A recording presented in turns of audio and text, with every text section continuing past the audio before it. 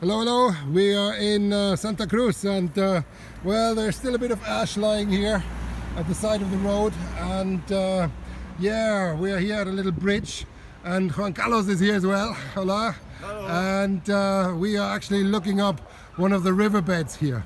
This is dry right now, but uh, it's not dry all year round.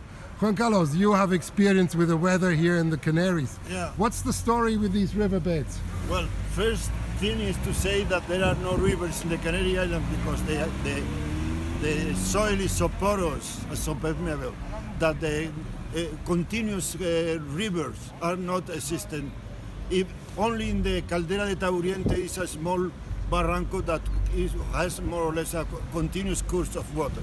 But the important thing here is to see that when rains, uh, the actually in the island of La Palma, uh, the rain is about 100, uh, uh, 1,800 millimeters per year, so it's a very intense uh, rain. But also the important fact is the topography. Uh, we, have, we are looking at the sea and we think that this is the end of the island, but the, the, the island is 2,000 meters high above sea level and continues for about three kilometers more. So uh, in total, the, we can see only about uh, 80% of the of the, the total volume of the island. The rest is under on, on the seawater. Uh, is the submarine part, and thi- this means that the, the difference in level in the island are very.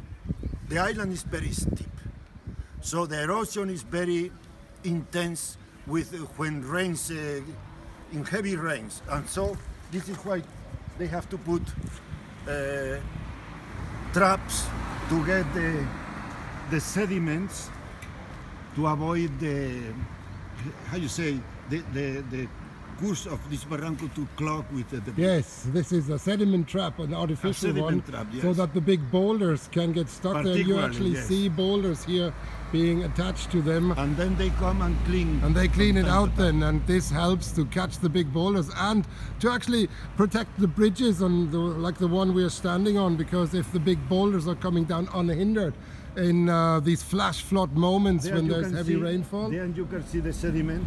There's a bit of sediment, correct. Very good. Yeah. So um, then uh, there would be huge problems with these mud flows that are boulder rich. And um, once there's heavy rainfall in winter, these flash floods can come within a short time and they come with enormous force. And this is an attempt to slow them down. And this is an old trick that's been used all over the world. It's Also actually in Hawaii and in Exactly, and I've seen it in Indonesia. The Japanese have uh, used it as sabo dams.